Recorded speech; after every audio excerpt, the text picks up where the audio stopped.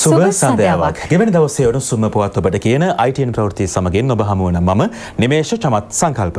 මම කුෂාණි කෞශල්යා ප්‍රථම නවධානය ප්‍රවෘත්ති සිරස්තල වෙත.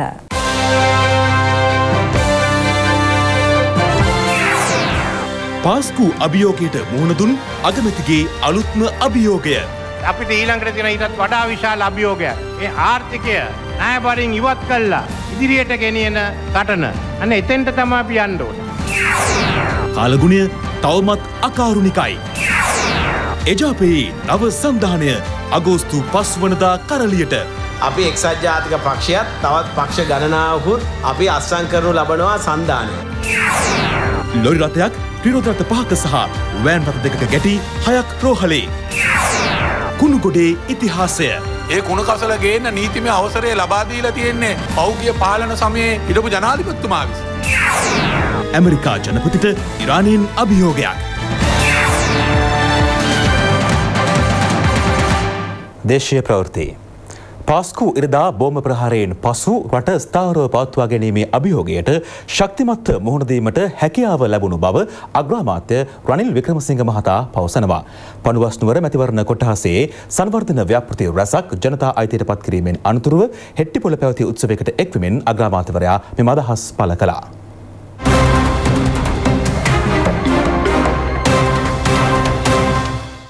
පඩුවස්නුවර මැතිවරණ කොට්ටාසේ සංවර්ධන ව්‍යාපෘති කිහිපයක් අග්‍රාමාත්‍යවරයාගේ ප්‍රධානත්වයෙන් අද ආරම්භ කෙරුණා. බරම්පොල හමන්නාපහුව මාර්ගය සංවර්ධනය කිරීමද කහටවිල නුගවෙලගම මාර්ගයේ සංවර්ධන කටයුතු ආරම්භ කිරීමද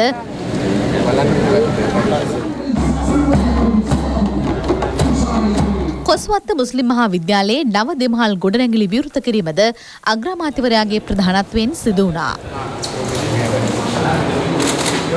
හෙට්ටිපොළ නගරේ ඉදිකළ නව සතිපොළ විවෘත කිරීමද අග්‍රාමාත්‍යවරයා අතින් සිදු වූ අතර එක්සත් ජාතික පක්ෂ මහලේකම් අමාත්‍ය අකිල විරාජ් කාර්යවසම් මහතා අමාත්‍ය පාටලී චම්පික රණවක ගාමිණී ජයවික්‍රම පෙරේරා යන අමාත්‍යවරුන්ද නලින් බණ්ඩාර ජේසී අලවතුල යන රාජ්‍ය අමාත්‍යවරුන් ඇතුළු මන්ත්‍රීවරුන් රැසක් මෙම අවස්ථාවට එක්ව සිටියා. හෙට්ටිපොළ සතිපොළ විවෘත කිරීමේ උත්සවයට එක්වෙමින් අදහස් දැක් වූ අග්‍රාමාත්‍ය රනිල් වික්‍රමසිංහ මහතා.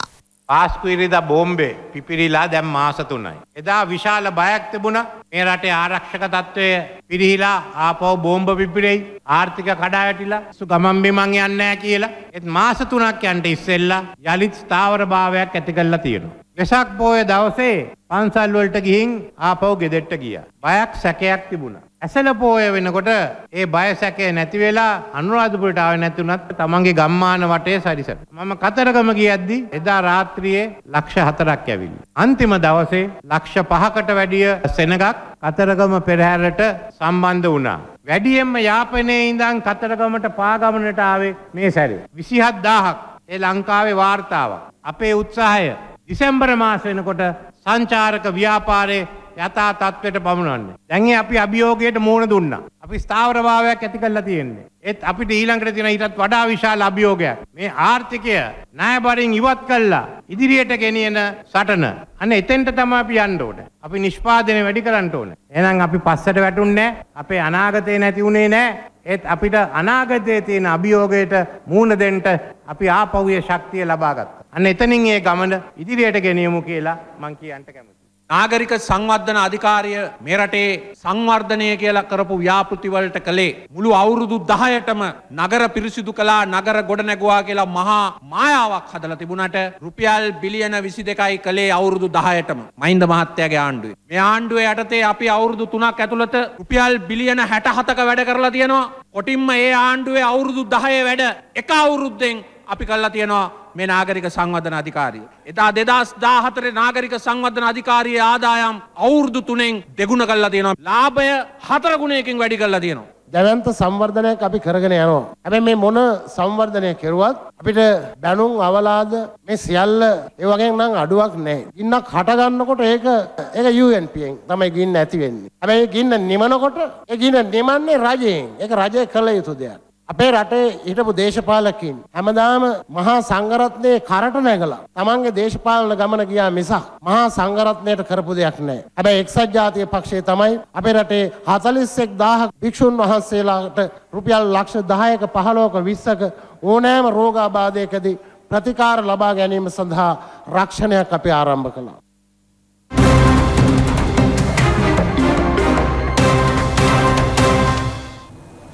කටුනායක අපනයන සැකසුම් කලාපයේ ගොඩගසා තිබෙන බ්‍රිතාන්‍යයේ සිට ගෙන්වන ලද කසල තොගය වහාම යළි අපනයනය කිරීමට කටයුතු කරන ලෙසට මධ්‍යම පරිසර අධිකාරිය අදාළ සමාගමට නියෝග කර තිබෙනවා. කටුනායක අපනෑන සැකුසුම් කලාපයේ පිහිට ඇති හේලිස් ෆීසොන් ලිමිටඩ් ආයතනය විසින් මෙම අපද්‍රව්‍ය ආනයනය කර ඇති බව මේ වන විට හෙළිව තිබෙනවා. ඒ සඳහා අවශ්‍ය පරිසර හෝ උපද්‍රවකාරී අපද්‍රව්‍ය බලපත්‍රයක්ද එම සමාගම සතුව නොමැති බවයි මේ වන විට අනාවරණය වී ඇත්තේ. හිටපු ජනාධිපති මහින්ද රාජපක්ෂ මහතා මුදල් අමාත්‍යවරයා වශයෙන් කටයුතු කළ සමේ දෙදහස් දහතුන අංක දහටයි දහටයි තිහදරන ගැසට් පත්‍රයේ ඇති ප්‍රතිපාදනවලට අනුව මෙම කුණු ආනයනය කර තිබේ. මේක නීති විරෝධී වැඩක්. නිදහස් නොකරන ලද කන්ටේනර් ටික ආපහු යවන්න කටයුතු කරනවා අපි ඒකට අවසරය කොහොමත් දෙන්නේ නැහැ. ආනයනය කරලා තියෙන ආයතනය ගැනත් අපි නීතිමය කටයුතු කිරීමට ප්‍රති අපනයනය කරත් ඉතුරු වෙච්ච කස්සල වලට මොකද කරේ? ඒ ගැන හොයලා බලන්නත් ඒ සඳහා අවශ්‍ය නීතිමය ක්‍රියාමාර්ග ගන්නත් පරිසර අධිකාරිය දැන් කටයුතු කරමින් පවතිනවා. මේ අතර අද පැවති මාධ්‍ය හමුවකදී පාර්ලිමේන්තු මන්ත්‍රී මුජිබ රහ්මාන් මහතා කියා සිටියේ අදාළ කුණු ගෙනීමට කටයුතු කළ ආයතනය ව්‍යාපාරික ධම්මික පෙරේරා මහතාට අයත් එකක් බවයි. මේ කුණු කසල ගෙන්වන්න ඉස්සෙල්ලාම ගැසට් නිවේදනය ප්‍රකාශයට පත් කරලා තියෙන්නේ දෙදහස් දහතුනේ හත්වෙනි මාසේ එකොළොස්වනි දින නිකුත් කරන ලද අංක එක්දා සටසිය දාට තියදරන ගැසට් නිවේදන. මගින් රේගු ආඥා පනත විනිමය පාලන පනත ආනයන අපනයන පාලන පනත ආදීහි පාලනයෙන් තොරව බාණ්ඩ ආනයන හා අපනයනය කිරීමට අවශ්‍ය නීතිමය පසුබිම ලබාදීලා තිබෙනවා. මේ රටට මේක ගෙන්නන්න දෙදහස් දහතුනේදී ආනායනය කරලා මේ රටේ නැවත ප්‍රතිඅපනයනය කරන්න ඒ අවස්ථාව ලබා දුන්නේ මහින්ද රාජපක්ෂ මහත්තයාගේ ආණ්ඩුව කාලේ. මේ සමාගම අපි සියලු දෙනාම දන්නවා මේක හේලිස් ෆීසෝන් කියන සමාගම. ඒ ධම්මික පෙරේරා මහත්මයා මේකේ ප්‍රධාන කොටස්කරුවා කියන එක අපි සියලු දෙනාම දන්නවා. මහින්ද රාජපක්ෂ මහත්තයාගේ ආණ්ඩු කාලේ එතුමා තනතුරු කීපයක් දැරුවා. ප්‍රවාණ අමාත්‍යාංශයේ ලේකම්වරයා වෙලා හිටියා. ඒ කුණු කසල ගෙනාවේ ප්‍රතිඅපනයනය කරන්න. නමුත් ඒවා ප්‍රතිඅපනයනය සිද්ධ වෙලා නැහැ. ශ්‍රී ලංකාවයි සිංගප්පූරුවයි ගිවිසුම උඩ ආපු කුණු කසල නෙමෙයි. නෙමෙයි. මේක චීනෙන් ගෙනාපු කුණු කසල නෙමෙයි. මේක කෙලින්ම එංගලන්තයෙන් ලංකාවට වල තියෙන කුණු කසල. ඒ කුණු කසල ගේන්න නීතිමය අවසරය ලබා දීලා තියෙන්නේ පෞගිය පාලන සමයේ හිටපු ජනාධිපතිතුමා විසින්. ගෝටාබේ රාජපක්ෂ මහත්තයා අත්සන් කරපු ගිවිසුම් වලින් ඇමරිකාවේ තියෙන පරණ රාජතාන්ත්‍රික කුණු ටිකක් ලංකාවට ගෙනල්ලා දැම්මා. එයා රාජතාන්ත්‍රික කුණු ටික ගේනවා. මහින්ද රාජපක්ෂ මහත්තයා අත්සන් කරපු පරණ කැසට් එකෙන් ඉංගලන්තේ තියෙන ජරා කුණු ටිකක් මෙහෙට ඇදලා ගෙනල්ලා දීලා තියෙනවා. ඔවුන්ගේ පරණ ගිවිසුම් වලින්, ඔවුන්ගේ පරණ ගැසට් වලින් තවම අපිට සිද්ධ වෙලා තියෙන ඔවුන්ගේ පරණ කුණු ටිකයි, පව් ටිකයි අදින්න. දැනට පවතින තද සුලන් තත්වයේ තරමක අඩුවීමක් ඉදිරිදින කිහිපයේදී බලාපොරොත්තු විය හැකි බව කල්ුණු විද්‍යා දෙපාර්තමේන්තුව පවසනවා. දිවයින හරහා දැනට පවතින තදිසුලන් තත්ත්වයේ තරමක අඩුවීමක් ඉදිරි දින කිහිපයේදී බලාපොරොත්තු වෙනවා. බස්නාහිර, දකුණු, මධ්‍යම, සබරකමුව, වයඹ සහ උතුරුමැද පළාත්වල, ඒ වගේම ත්‍රිකුණාමලය දිස්ත්‍රික්කයේ විටින් විට හමන පැයට කිලෝමීටර් 50 60ක් පමණ දක්වා වන තදසුලන් ඇතිවීමේ හැකියාවක් තවදුරටත් පවතිනවා. වැසි තත්ත්වයේ සැලකීමේදී සබරකමුව සහ මධ්‍යම පළාත්වලත්, ගාල්ල, මාතර සහ කළුතර දිස්ත්‍රික්කවලත් විටින් විට වැසි හෝ ගිගුරුම් සහිත වැසි ඇති වේවි. ඒ වගේම වයඹ පළාතේ සහ කොළඹ, ගම්පහ සහ හම්බන්තොට දිස්ත්‍රික්කවල වැසිවාර කීපයක් බලාපොරොත්තු වෙනවා. දිවයිනට වයඹ, බස්නාහිර, මිරිත සහ දකුණු දෙසින් වන මුහුදු ප්‍රදේශවල සුළං තත්ත්වයේ ජූලි මාස 21 වන දින උදෑසන දක්වා තවදුරටත් බලාපොරොත්තු වෙනවා. විශේෂයෙන්ම මන්නාරම සිට පුත්තලම, කොළඹ, ගාල්ල සහ හම්බන්තොට හරහා පොතුවිල් දක්වා වන මුහුදු ප්‍රදේශවල සුළඟේ වේගය විටින් විට පැයට කිලෝමීටර් 70 පමණ දක්වා වැඩි වීමේ හැකියාවක් පවතිනවා. මෙම මුහුදු ප්‍රදේශය තුළ 2019 ජූලි 21 වන දින උදෑසන කාලය දක්වා දීවර කටයුතු නොයෙදෙන ලෙස දීවර ප්‍රජාවට අවවාද කරන අතර නාවක ප්‍රජාව මේ පිළිබඳව ඉතා අවධානයෙන් කටයුතු කරන්න කියලා මතක් කරන්න කැමතියි. මේ අතර අයහපත් කාලගුණයේ හේතුවෙන් මේ වන විට පුද්ගල මරණ හතක් වාර්තා වී තිබෙනවා. ආපදාවට ලක්වුවන් සඳහා සහන සැලසීමට මේ වන විටත් පියවරගෙන ඇති බවයි ආපදා කළමනාකරන මධ්‍යස්ථානයේ නියෝජ්‍යාධ්‍යක්ෂ ප්‍රදීප් කොඩිප්පිලි මහතා පවසන්නේ. මේ විනිවිට දිස්ත්‍රික කිහිපයක පැවතුණු ආපදා තත්ත්වයේ අඩ බොහෝ අඩුවීමක් පෙන්නුම් කරනවා. ප්‍රධාන ජලාශවල වාන්දොරටු මේ විනිවිට වසා දමා තිබෙනවා. පීඩාවට පත් මුළු සංඛ්‍යාව 5200ක්. මරණ 7ක් සහ තුවාලකරුවන් එක්කෙනෙකුත් නිවාස පූර්ණහානි 8ක් සහ අර්ධහානි 825ක් අපිට වාර්තා වෙනවා. කුඩා මධ්‍ය පරිමාණ ව්‍යාපාර ස්ථාන හානි වාර්තා වෙනවා 28කට. මීට අමතරව ආරක්ෂිත ස්ථානවල පුද්ගලයන් 341 දෙනෙක් තාවකාලිකව රඳවා තිබෙනවා. ඔවුන් සඳහා සහන වැඩපිළිවෙළ අඛණ්ඩව ක්‍රියාත්මකයි. දැනට පවතින තත්ත්වය සමගම ඊ දිනේදී ජාතික ගොඩනැගිලි පරීක්ෂණ ආයතනය මගින් ලබා දීලා තියෙන නිවේදනයන්. විශේෂයෙන්ම නුවරඑළිය දිස්ත්‍රික්කයේ අබගමු කෝරළේ සහ නුවරඑළිය කියන ප්‍රදේශවලට කහ පැහැති නිවේදනයත් අවදානම් මට්ටමේ සිටිය යුතු නිවේදනයත් රතු පැහැති ඉවත් වීමේ නිවේදනය කොත්මලේ ප්‍රදේශයටත් රතු නිවේදනය ඉඹුල්පුවේ කියන ප්‍රදේශයට රත්නපුර දිස්ත්‍රික්කයේ සහ මහනුවර දිස්ත්‍රික්කයේ උඩ පළාත කියන ප්‍රාදේශීයකම් කොට්ටාසයටත් ලබා දීලා තිබුණා. කෑගල්ල කළුතර මාගාල මාතර ස්ථානවලට විශේෂයෙන්ම කහ පැහැති නිවේදනයන් තමයි නිකුත් කළ තියෙන්නේ. අපතර ලක්වූ නිවාස වෙනුවෙන් තක්සේරු කටයුතු සිදු කිරීම අඛණ්ඩව සිදු කරන ලබනවා. හානියටපත් නිවාසවල ජනතාවගෙන් අපි ඉල්ලා සිටිනවා මුලින්ම ග්‍රාම නිලධාරීතුමන් මුණ ගැහෙන්න හානිය වාර්තා කිරීම ඉතාමත් වැදගත් වෙනවා. 117 දුරකථන අංකය විවෘතයි. පැය 24 පුරාම ඒ සමග සම්බන්ධ වෙන්න පුළුවන්. අධික වර්ෂාවත් සමග කාසල් රිහා මවුසා කැලේ ජලාශවල ජලමට්ටම ඉහළ ගොස් තිබෙනවා. අද උදෑසන වන විට කාසල් රී ජලාශයේ ජලමට්ටම අඩි 10කින් හා මවුසා කැලේ ජලමට්ටම අඩි 9කින් ඉහළ ගොස් තිබුණා. පසුගිය සමයේ පැවති වියලි කාලගුණයේ හේතුවෙන් මෙම ජලාශවල ජලය පැවතුනේ 125ක පමණ අඩු මට්ටමකයි. ජලය සිදීම නිසා මතුව තිබූ පැරණි නගරයෙහි නටබුන් වර්ෂාව හේතුවෙන් නැවතත් ජලයෙන් යටවෙමින් පවතින ආකාරයක් දැකගත හැකියි. අයහපත් කාලගුණයත් සමග මහියංගනය ප්‍රදේශයේ නිවාස රැසකටද හානි සිදු වුණා. හානියට පත් පවුල් සඳහා කඩිනම් සහන සැලසීමේ කටයුතු ක්‍රියාත්මකයි. අධික සුළං තත්ත්වයේ හේතුවෙන් මිනිපේ ගොවි ජනපදයේ නිවාස ඇතුළු දේපොළ රැසකට හානි සිදු වුණා. ලුණුමඩලා කැටිය, දියපුබුල, මොරයාය ආදී ප්‍රදේශවලටයි සුලගින් දැඩි බලපෑම් මෙල්ල වුණේ. හානියට පත් නිවාස ප්‍රතිසංස්කරණය සඳහා අවශ්‍ය කටයුතු ක්‍රියාත්මකයි. නිට්ටඹුව කලගෙඩිහේන ප්‍රදේශයේදී ප්‍රභූ ආරක්ෂකයන් ලෙස පෙනී සිටමින් රියදුරෙකුට පහරදීමේ සිද්ධියට සම්බන්ධ තුන්දෙනෙකු පොලිසිය අතඩංගුවට ගෙන තිබෙනවා. සිද්ධියට සම්බන්ධ ඩිෆෙන්ඩර් රථය මහරගම ඇල්හේන පාර ප්‍රදේශයේ නිවසක තිබියදී අතඩංගුවට ගත් බවයි පොලිසිය සඳහන් කළේ. ඩිෆෙක්ටර් රථයේ රියදුරු සහ ප්‍රභූ ආරක්ෂකයන් ලෙස පෙනී සිටි අයෙකු කොළඹ අපරාධ කොට්ටාසයට බහරවීමෙන් පසු අත්අඩංගුවට කෙනුණා. මාර්ගයේ ඉඩ නොදුන් බවට පවසමින් වෑන් රථ රේදුරකුට ප්‍රභූ ආරක්ෂකින් ලෙස පෙනී සිටි කණ්ඩායමක් පහර දුන් අතර ඊට අදාළ වීඩියෝව සමාජ ජාලා තුළ පැතිර ගියා. ප්‍රභූ ආරක්ෂකින් ලෙස පෙනී සිටියද ඔවුන් පෞද්ගලික ආරක්ෂක සේවයකට අයත් පුද්ගලයින් බව මේ වන විට අනාවරණය වී තිබෙනවා. සිද්ධිය සම්බන්ධයෙන් කොළඹ අපරාධ කොට්ටාසය වැඩිදුර විමර්ශන සිදු කරනවා. ගොවි විශ්‍රාම වැටුප ශක්තිමත් කිරීමට නව පනත් කෙටුම් පතක් ගෙන එන බව අමාත්‍ය සජිත් ප්‍රේමදාස මහතා පවසනවා. දෙසිය දහ නවවන ආදර්ශ ගම්මානය ජනතා අයිතියට පත් කිරීමේ අවස්ථාවට එක්විමින් අමාත්‍යවරයා මේ බව ප්‍රකාශ කළා. මාතලේ නාවුල අරංගල ප්‍රදේශයේ ඉදිකළ විජයරත්න බණ්ඩාපුර උදාගම්මානය අමාත්‍යවරයාගේ ප්‍රධානත්වයෙන් මෙසේ ජනතා අයිතියට පත් කෙරුණා. නිවාස විසි හයකින් සමන්විත මෙම ගම්මානයේ ඉදිකිරීම සඳහා රුපියල් ලක්ෂ හාරසි දොළහක් වැය කර තිබෙනවා. සියලු පහසුකම් වලින් සමන්විතව මෙය ඉදිකෙරුණා. මෙම අවස්ථාවට මැති ඇමතිවරුන් ඇතුළු පිරිසක් සහභාගී වුණා. මැතිවරණයක් තිබ්බොත් හැම මනුස්සයම නැගිටලා කියනවා මම බලයට ආවොත් ගොවි විශ්‍රාම වැටු ක්‍රමය සක්‍රිය කරනවායි. මැතිවරණ ජයග්‍රහණයෙන් පස්සේ ගොවියත් අමතක කරනවා. ගොවි විශ්‍රාම වැටු ක්‍රමය කියන වචන ටික ශබ්දකෝෂයෙන්ුත් අයින් කර මේ රටේ ජනතාව ප්‍රේමදාසගේ පුතාට හයියක් දුන්නොත් අක්‍රිය වෙලා තිබෙන ගොවි විශ්‍රාම වැටුප අපි නැවතත් වරක් ලබා දෙනවා. ආණ්ඩුවේ නීති කැටුම් පනතක් අපි සම්මත කරගන්නවා. ඉදිරිපත් වෙන හැම ආණ්ඩුවක්ම මාස් පතාම ගොවි විශ්‍රාම වැටුපේ රාජ්‍ය භාගය ගෙවිය යුතුමයි කියන නීතිය ගෙනෙන්නට අපි කටයුතු කරනවා කියලා මේ අවස්ථාවේ ප්‍රකාශ කරනවා. අයහපත් කාලගුණයේ හේතුවෙන් රූමස්සල කන්දේ ගැටුණු නෞකාවේ තිබූ ඉන්ධන ගොඩබිමට රැගෙනීමේ මෙහෙයුමක් ආරම්භ කෙරුණා.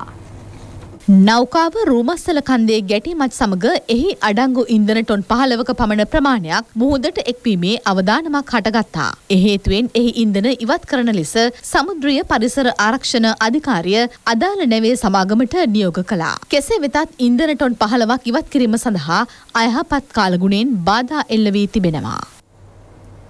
රණවිරුවන් සඳහා ආරක්ෂක අමාත්‍යංශය මගින් ක්‍රියාත්මක අපි වෙනුවෙන් අපි මෙත්සෙවන නිවාස ව්‍යාපෘතිය යටතේ කුරුණෑකල දිස්ත්‍රික්ක ව්‍යාපෘතිය සාර්ථකව අවසන් අධීරයට පත්ව තිබෙනවා. තිස් වසරක කුරිරු ත්‍රස්තවාදයේ අමිහිරි කටුක අත්දැකීම් තුළින් මේ රට බේරා ගැනීම සඳහා ත්‍රස්තවාදීන් සමඟ දිවි පරදුර සටන් කර රණවිරුවන් ඔවුන්ගේ ක්‍රියාවලිය තුළින් අද අප ලැබූ නිදහස අපිරිමිතයි. ඒ නිදහස වෙනුවෙන් අද යම්කිසි රණවිරුවන් ප්‍රමාණයක් ආබත් තත්ත්වයට පත්ව තිබෙනවා. ඒ රණවිරුවන් වෙනුවෙන් උදාරතර මෙහෙවුමක් ආරක්ෂක අමාත්‍යන්සය විසින් ව්‍යාපෘතියක් මගින් ඔවුන් වෙනුවෙන් පුදදී තිබෙනවා. අපි වෙනුවෙන් අපි සමග මෙත් සෙවන නමින් එයම ව්‍යාපෘති හඳුන්වා දී තිබෙනවා. මෙය පූර්ණ නිවාස හා අර්ධ නිවාස ව්‍යාපෘති වශයෙන් ක්‍රියාත්මකයි. මෙ යටතේ රණවිරුවන් වෙනුවෙන් එක්දහස් පන්සිය හතරක් සඳහා සම්පූර්ණ නිවාස විසි පහක් අර්ධ නිවාස නවසේ විසි පහක් විරු සිසු ප්‍රදීප ශිෂ්‍යාධාර තුන්සිය අටක් ඉඩම් කොටස් දෙසිය හතලිස් හයක් ප්‍රධානය කිරීමට කටයුතු යොදා තිබෙනවා.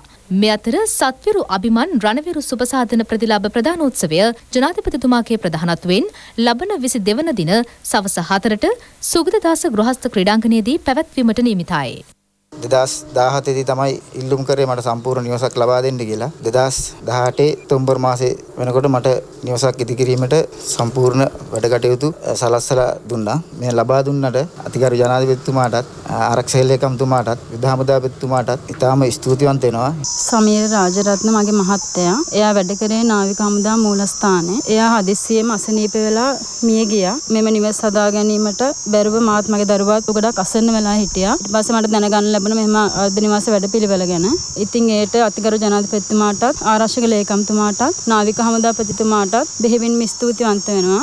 දෙදස් සටයි නමය විෂයට විලාතුකුලම් ප්‍රදේශයේදී බිම්බෝම්බයකට අපිලාමයි වම්පාදේ අයින් කරලා තියෙන්නේ. ගරු ජනාධිපතිතුමාට මං වෙමින් ස්තුතිවන්ත වෙනවා එතුමාට පින් දෙනවා. අද මේ නිවාස හදාගන්න මැදිහත් වෙලා අපිට ගොඩක් උපකාර කරා මට ලැබුණු මුදල ලොකු ශක්තියක් ධෛර්යයක් වෙනවා මේ මගේ ඉතුරු නිවසේ වැඩ ටික කරගැනීම සඳහා.